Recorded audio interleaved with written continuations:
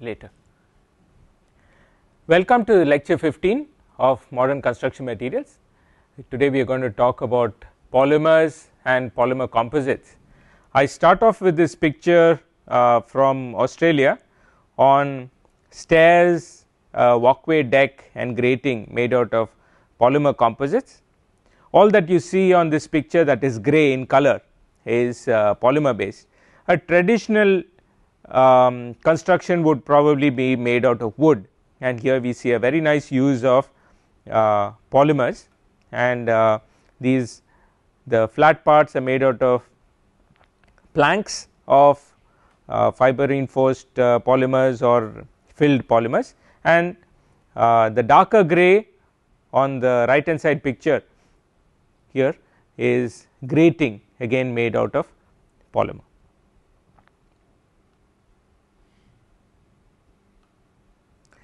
Polymer materials are used extensively in construction in some structural applications, but many many more non structural applications.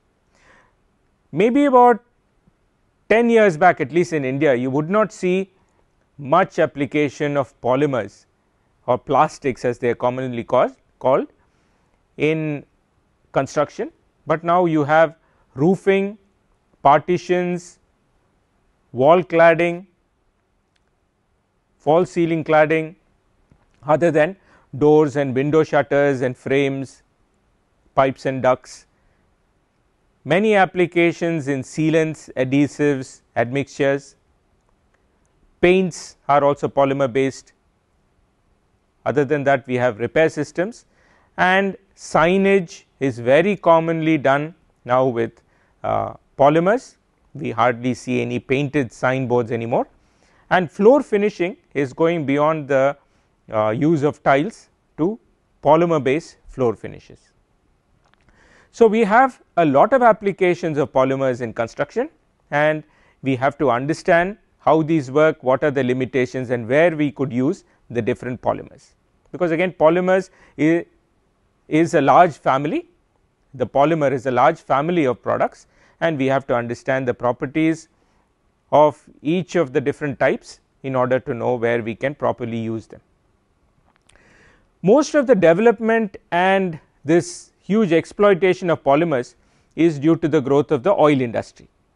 Since the byproducts of the distillation of petroleum gives give the building blocks from which plastics are made. So, this is linked to the petroleum industry in a large extent.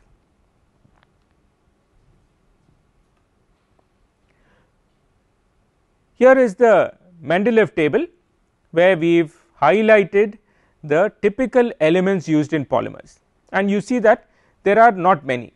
The backbone or the framework element is normally carbon, in some cases you have silicon other than that you have secondary elements which are hydrogen, oxygen and other elements to some extent we have fluorine, chlorine, bromine also being used.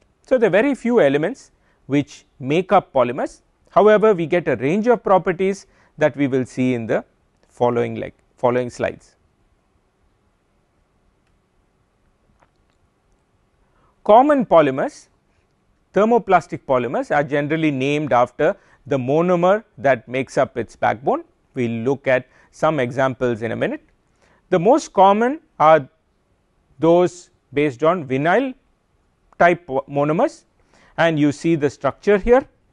We have a backbone of carbon with CH2 in the chain and we can have two substitutional groups R1 and R2 and these vary giving the different properties of the thermoplastics. So, R1 and R2 are called the substitutional groups and these change from one polymer group to the other.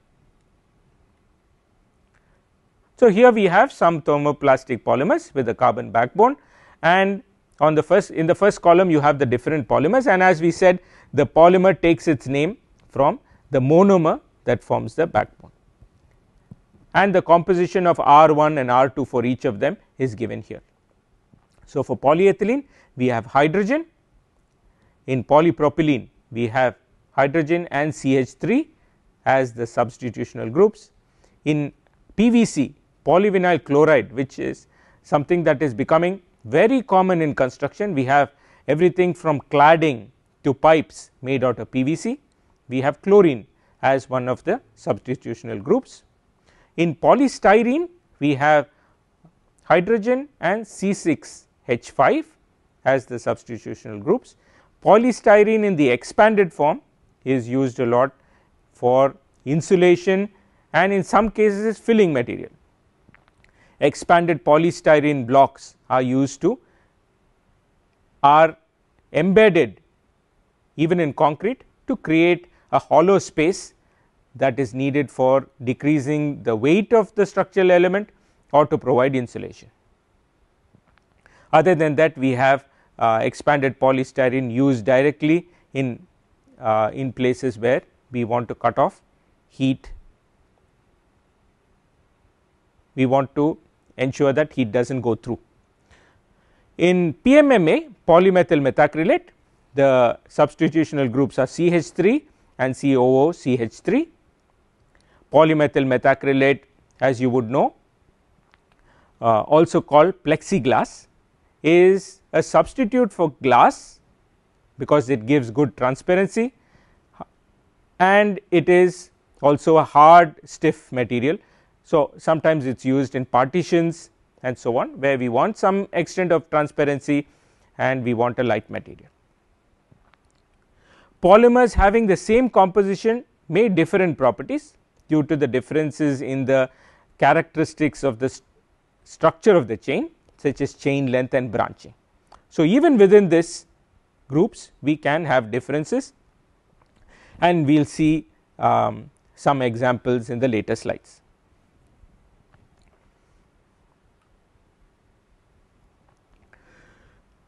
As we saw in, uh, in a previous lecture there are different types of polymer chains. The polymer chains can be linear or in the branch form and when the material is linear that it, it that is it has linear polymer chains there is a higher tendency for crystallization and in the context of a polymer if you remember we said crystallization was when we had the chains all together. We had a ran instead of a random arrangement of chains we have the polymer chains all ordered together. So, there is a closer packing. The packing is denser and this gives a higher transition temperature higher glass transition temperature and the strength is also more. Because now due to the closer packing we have better van der Waals bondings. The van der Waals bonds are stronger and therefore we have better properties in a linear material which is difficult to get in a branch polymer because the branches now interfere with this packing and an orderly structure is difficult to get. So, if we look at the example of polyethylene we see the advantage of this packing. When there is more packing more crystallinity we get higher density. So, a higher density polyethylene is used for making rigid pipes for hot water and so on and on the left we see stress strain diagram of both high density and low density polyethylenes. The top curve is that of high density polyethylene you see that you have a higher modulus of elasticity the stiffness is higher giving it more rigidity the strength is also high and after that we have a softening type response and a flat response. So, it loses some of its strength when afterwards you have a plastic response. Lower density polyethylene we are very familiar to it because we use it a lot for packaging and moisture barrier sheets in construction sometimes it is used at the bottom of a slab to cut moisture from going through or on top of a recently cast concrete uh, slab to prevent evaporation.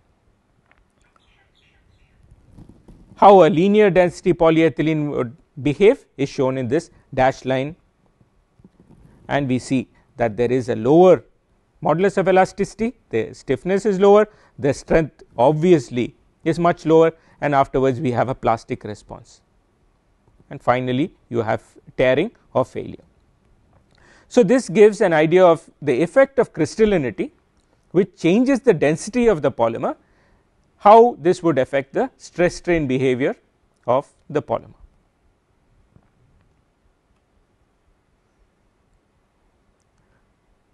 Thermoplastics as the name implies have variations in their properties as a function of the temperature. When the temperature is sufficiently high, the thermal energy which has been put into the material overcomes the steric limitations and van der Waals bonds. Steric limitations are the entanglement that occurs between the chains or the physical hindrance that one chain poses to another which limits the movement and the separation of these chains. Other than that heat breaks or weakens the van der Waals bonds and therefore, there is a lot of mobility.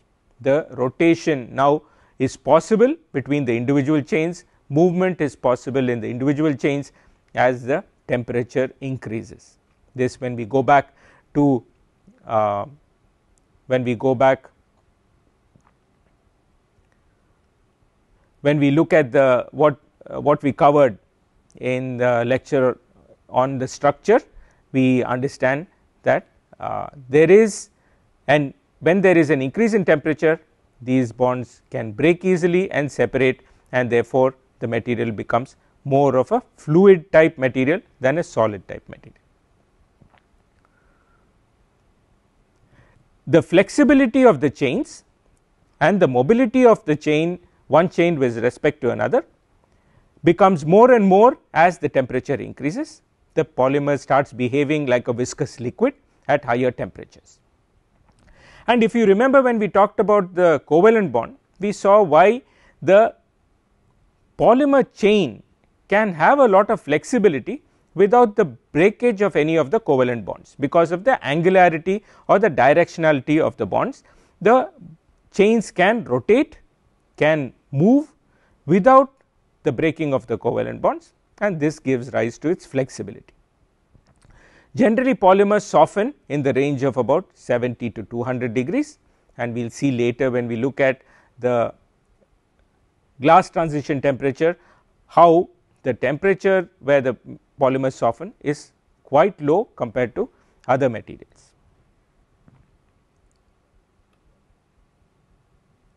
So, here we see uh, as a recap the effect of the temperature on the structure and to some extent the viscosity and the stiffness of the polymer. We have two temperatures governing the behavior the melting temperature and the glass transition temperature.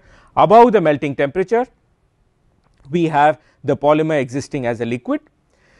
The polymer chains are easy to move. There is not much hindrance. The heat energy is sufficient that the chains do not interfere with each other Below the melting temperature if the temperature drop is slow enough and the chains are such that a crystalline solid can move can form such that the, a crystalline solid can form the movement of the chains is now hindered. There is a packing of the chains. The chains are closer to each other and we get a crystalline solid that is stiff and less flexible. If the chains are such that due to branching and so on we cannot have a crystalline solid forming or if the cooling is very fast an amorphous solid forms the structure does not change much from when it was a liquid and when it has become a solid the movement of the chains is allowed the movement of the chains occurs only under stress. There is some amount of stress some force required to move the material. It becomes very viscous. And below the glass transition temperature this again the structure sort of freezes stays the same as before. And however with the difference that only very small movements of the chains occur. Very small movement of the chains occur. You do not have large chain large movement of the chains. So, we get a glassy solid below the glass transition temperature. If we were going suppose if we were going the other way if we were increasing temperature here when we have an a glassy solid we will have little bit of flexibility the material is brittle and then when as we increase temperature the material becomes softer the material softens there is more movement possible between the chains and then above the melting temperature it becomes a liquid. The structure itself does not change much in the case of an amorphous material in the crystalline material we see a major change.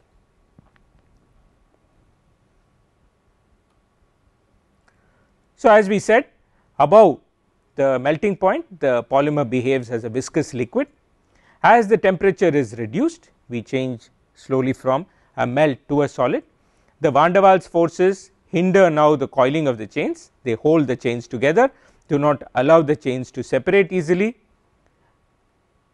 And the van der Waals forces the van der Waals forces also limit the mobility. Both of these lead to crystallinity in the linear polymers where we can get an orderly arranged packing. In this case the intermolecular bonding is maximized it becomes stronger and a rigid solid is obtained. When the chains are irregular in shape that is they get entangled they have branches which do not permit an orderly packing the structure does not change much from the viscous liquid to a solid and the structure remains amorphous that is without any crystallinity or order. The polymer becomes stiffer, but not very rigid. Below the gla glass transition temperature the chain segments now lose all their mobility the structure becomes an amorphous solid. It is however relatively brittle and rigid. In the case of substituents which are bulky and electrically charged we can get polymers with higher glass transition temperature. It is also interesting to note that when you have an amorphous structure there is a smaller volume change than when we have it is interesting to note that when you have an amorphous structure we have a smaller volume change than we have when crystallization occurs. That is there is less shrinkage going from a melt to a solid when there is an amorphous structure rather than crystallization occurring. And this is important because when we want to make the element of a certain shape and size we have to take into account the shrinkage that will occur when the material goes from the liquid to the solid form. And this gives what I have just explained so, initially we have a liquid the volume of this liquid as cooling occurs is decreasing this again goes back to the Condon-Morse diagram where we looked at how as temperature decreases the interatomic spacing decreases material will contract and this what occurs. So, as the temperature decreases the liquid is contracting at the melting point if the chains are such that the cooling rate is such that an amorphous structure or a glass structure is formed you see some change in the volume you first get an undercooled liquid until the glass transition temperature an amorphous structure which is retained in the solid form as a glassy structure. There is some volume change but when you have a crystalline solid forming there is a much more significant change in the volume. There is a more significant decrease here that we see and this is due to a stronger uh, van der Waals bonds more orderly structure a packed structure that is decreasing the volume of the solid.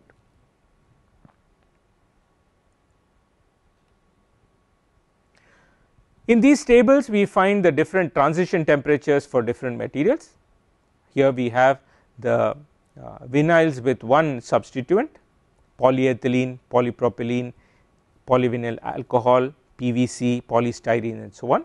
And here you see the melting temperatures and the glass transition temperatures.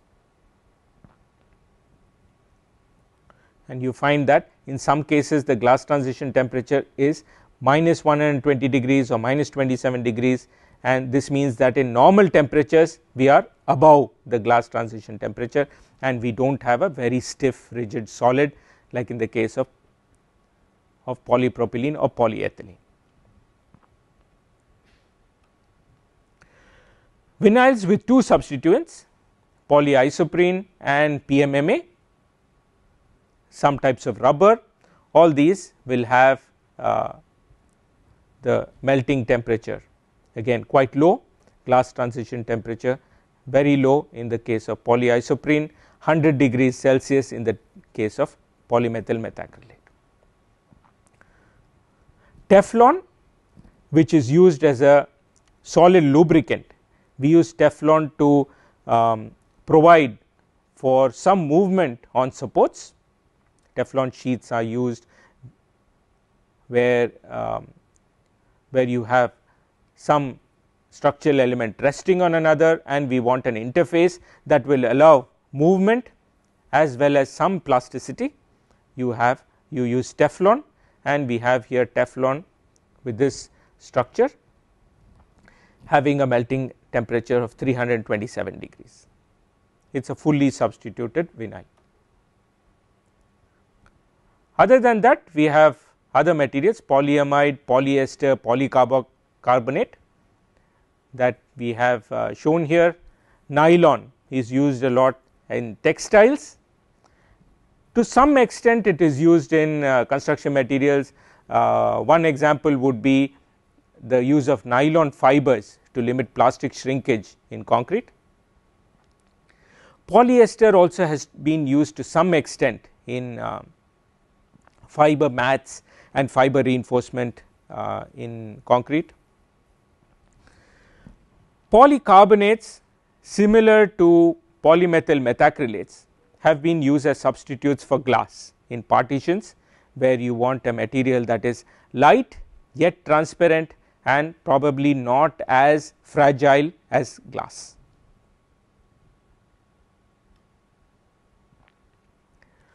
So, we looked at the effect of temperature what happens to the stiffness as a function of the temperature. We have here curves for polymethyl methacrylate, we find that such curves giving the change in the modulus of elasticity versus temperature can classify the polymers on the basis of their mechanical behavior. Here we see that at very low temperatures minus 40 degrees Celsius PMMA acts like a ideal elastic brittle solid it has linear curve up to the peak and then there is suddenly failure.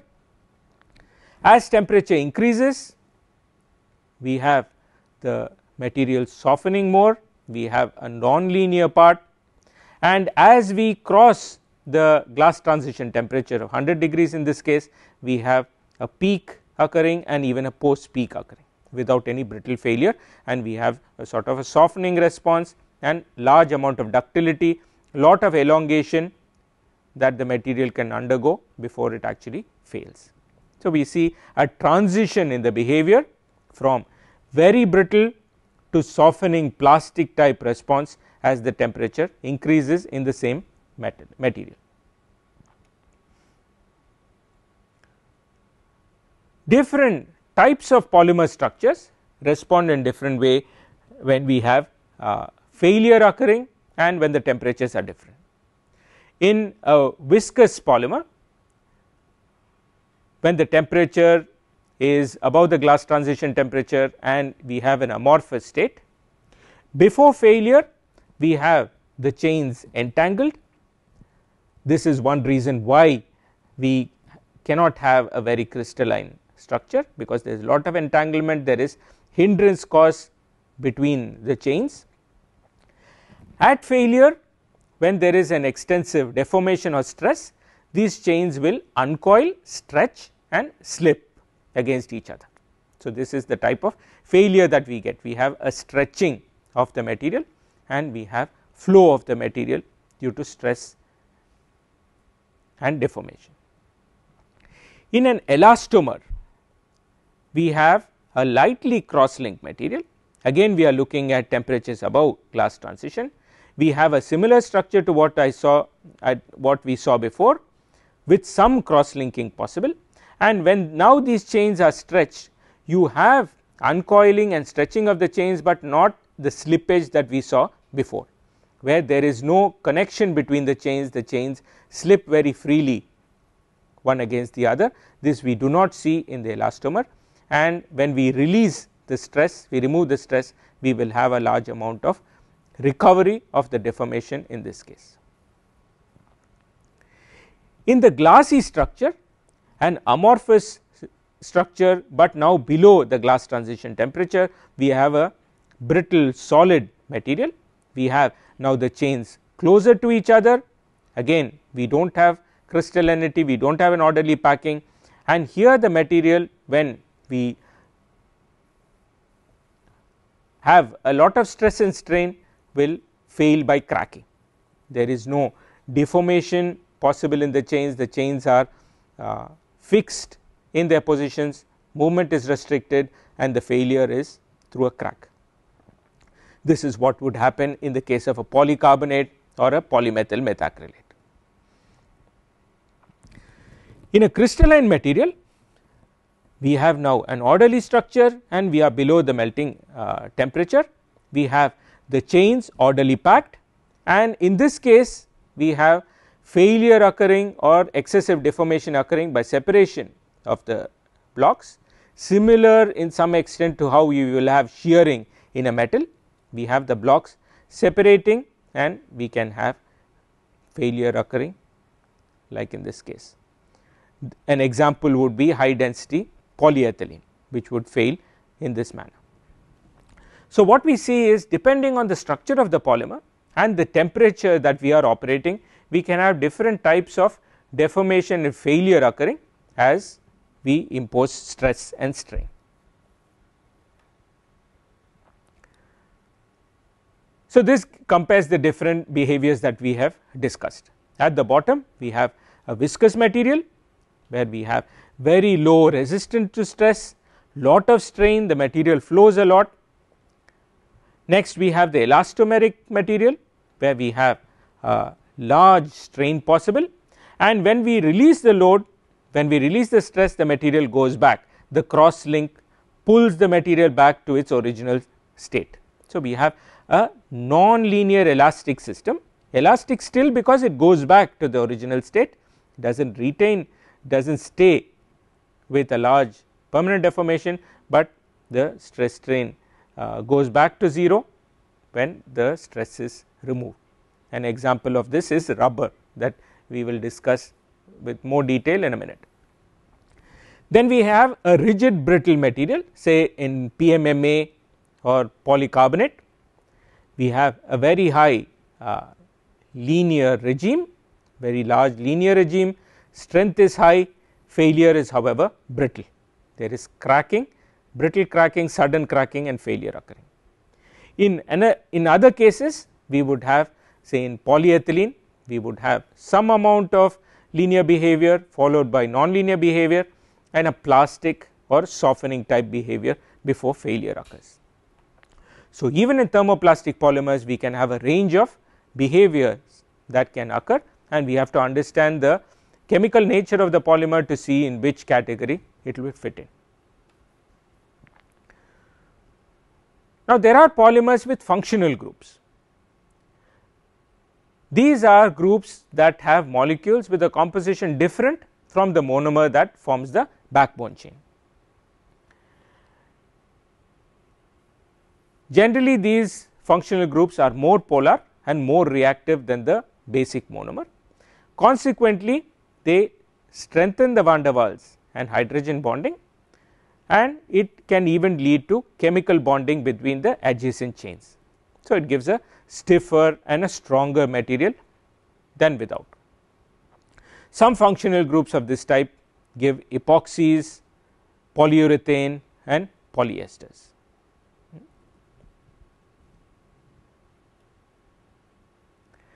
The nature and the density of the functional groups determines the properties of the polymer. For example, in polyurethane we can have densely located urethane groups leading to very hard and strong polyurethane or it can be in a flexible form if the urethane groups are spaced apart. So, you can have a stiff strong polyurethane or you can have a more flexible polyurethane depending on the density of the urethane groups. We should also understand what are pre-polymers. Pre-polymers are non-cross-linked relatively short polymer chains having act active functional groups along their backbone. The pre-polymer is usually in a thin or thick liquid fluid state. The pre-polymer is usually in a thin or thick fluid state and the polymerization or the activation of the functional groups is obtained later by forming cross links and this leads consequently to hardening. This activation is obtained when you add a reactive component or when the material comes in contact with the atmosphere that is the presence of moisture and oxygen triggers the activation and hardening occurs. Now, this is very important uh, in terms of construction or even everyday usage of some polymers in the sense that glues that we use the quick glues and two component glues or adhesives function this way. In the quick glues we have the activation by atmosphere one common material is cyanoacrylate which gets activated by exposure to atmosphere hardens and becomes adhesive and sticky. We can also have a reactive component. We have many Uh, resins and glues and adhesives where you mix two components activation of the pre-polymer occurs and you have the cross links happening and a strong bond happening.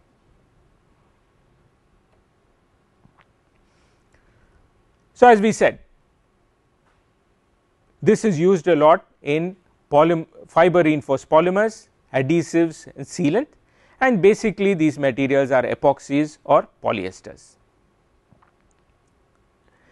Some of these functional groups the polar functional groups for example in epoxies are also effective in bonding to surfaces that are in contact not only within the material, but with the material that they are in contact with and this increases adhesion that is why they used a lot in bonding of different types of materials. Almost all sorts of materials are bonded nowadays with polymers.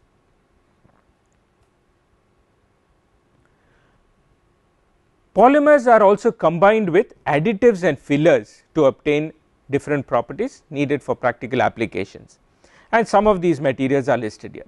Plasticizers are low molecular weight molecules that reduce the bonding between the polymer chains during fabrication. This also lowers the glass transition temperature and it is possible now to get the form or the thinness in the polymer for a certain application. Again for processing materials like lubricants are incorporated these reduce the external friction and improve the flow again facilitating the drawing or the extrusion of a polymer material. Stabilizers improve the durability. One of the problems of polymers is that they are not very durable when exposed to ultraviolet light and changes in temperature and humidity. Stabilizers are material which are introduced in the polymer to improve the durability so that they can be used in external atmospheres, external environments. Other materials that could be incorporated in the polymer include fire retarders to inhibit the burning of the polymer, fillers which are inert substances they could be carbon black, uh, calcium carbonate even pieces of wood so that the mechanical properties are improved hardness, abrasion resistance, strength can change and these also lower the price of the polymer so the polymer can be used more easily in an application.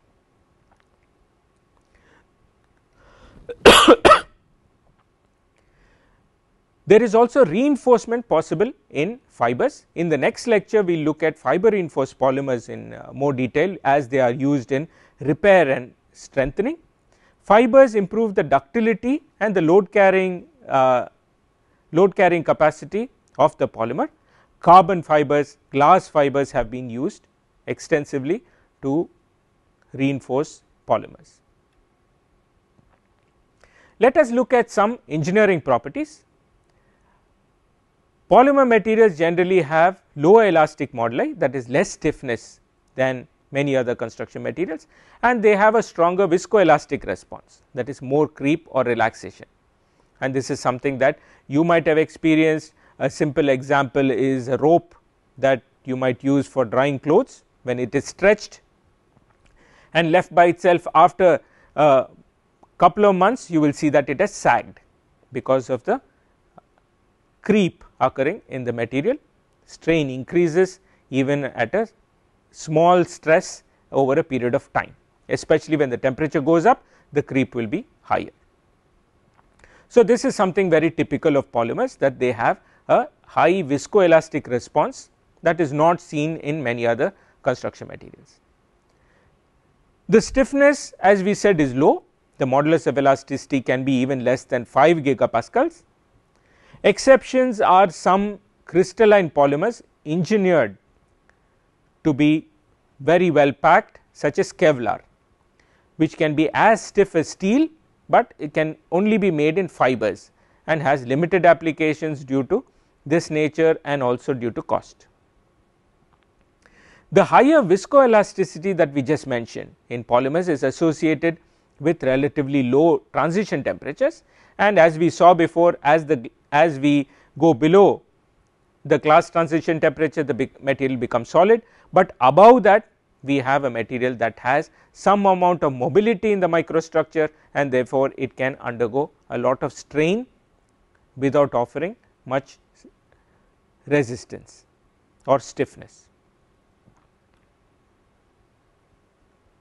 In terms of thermal and fire performance, as we already saw polymers are very sensitive to changes in temperature, they are therefore more prone to deformation and failure when there is excessive heat and, and a fire than other construction materials. The coefficient of thermal expansion is quite high 50 to 300 times 10 to power minus 6 per degree Celsius compared to 10 times 10 to power minus 6 per degree Celsius for steel and concrete. So, thermal coefficient of expansion or thermal expansion in polymers is generally high and we have to be careful of what happens in a polymer when there is a fire there could be degradation of the chemical Uh, system and loss of bond breakage of bonds and this could lead to toxicity, toxicity of the fumes that are emitted and also a loss in the mechanical resistance that could lead to the failure of a structure if it is based on the strength that the polymer is offering.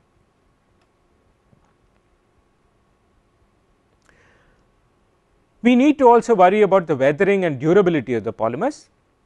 Generally polymers are not attacked by chemicals and therefore, they are extensively used for coating and resurfacing components exposed to even aggressive environments.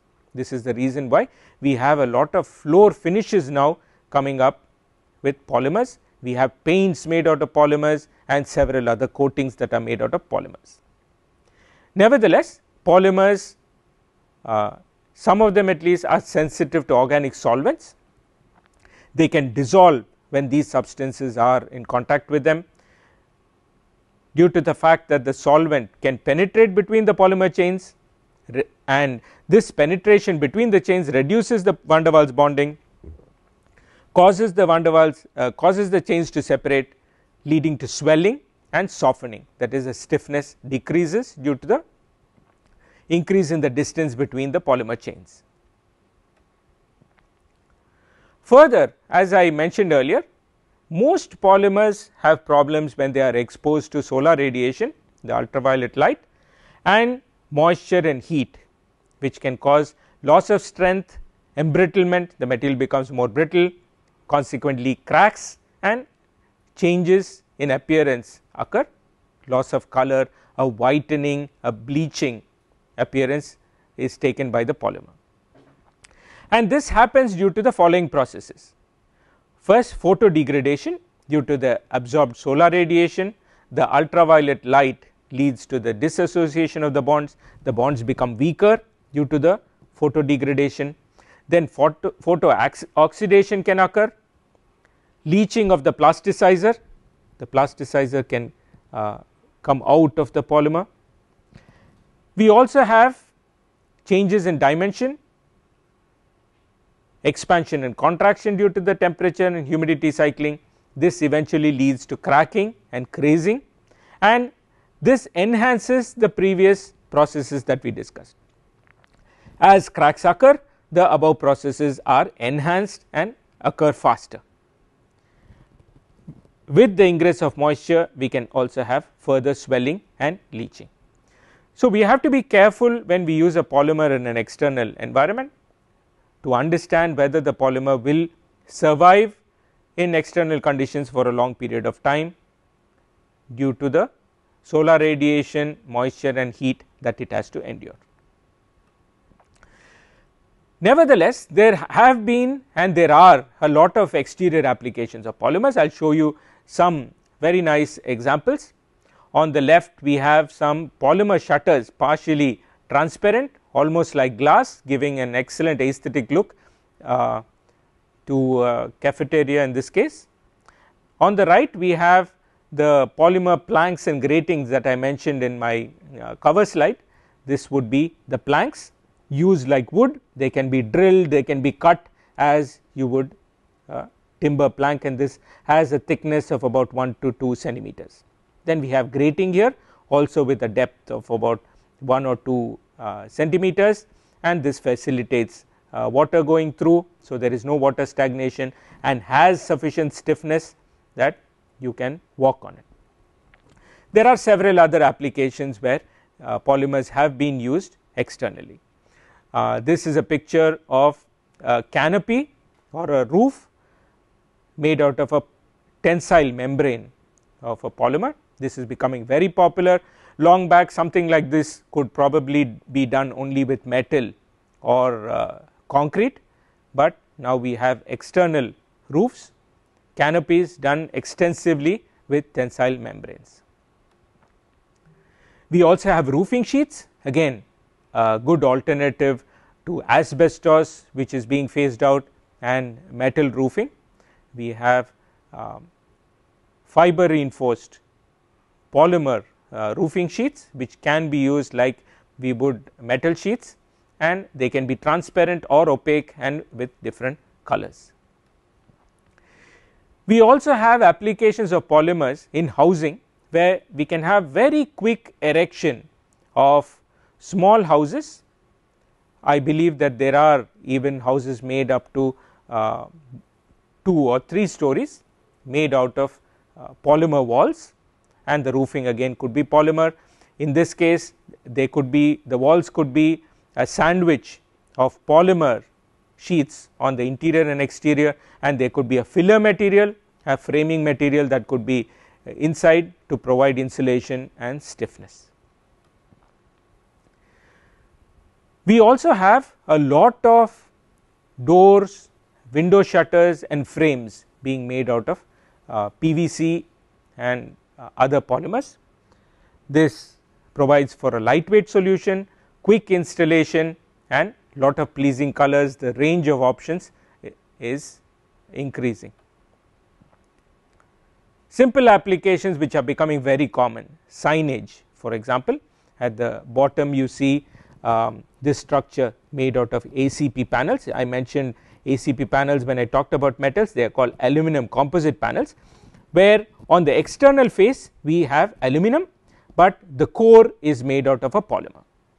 Here the lettering is also polymer based as the lettering in this case lighted and non lighted lettering.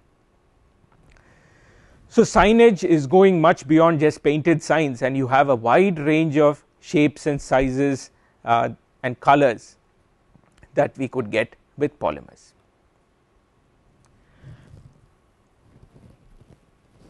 Let us talk a little bit about elastomers. Elastomers are rubber like polymers. They have at least 100 percent elongation in a tensile test that is very high uh, elongation and a good ability to recover from the elastic deformation. Here we have the stress strain response of rubber strained to about more than 4 percent strained to more than strained to a value of more than 4 and when the stress is released we see that we go back to the original state. So, we have non-linear elastic response very large strains and then we can go back to 0. Some applications which benefit from such uh, behavior is in the use of neoprene. Neoprene or chloroprene rubber has uh, carbon chains containing chlorine and these are used in supports of bridge girders. When we have the girders sitting on top of a bridge pier, we need some amount of mobility, there has to be some um, movement facilitated along the direction of the girder and some amount of rotation in the supports. So, neoprene pads which could be sandwiches with metal or solid neoprene is used a lot for the support of the bridge girders. Another type of elastomer that is used is polyurethane. We uh, saw before that if the urethane chains, urethane groups are sparsely populated that they are less dense we have a lot of flexibility. Polyurethane can be used as a foam in uh, foam insulation in buildings to cut heat transfer through the wall. It is also used in varnishes, floor coverings. We have a lot of flooring now which is becoming very common based on polyurethanes and varnishes uh, coatings for wood are also being done with polyurethane.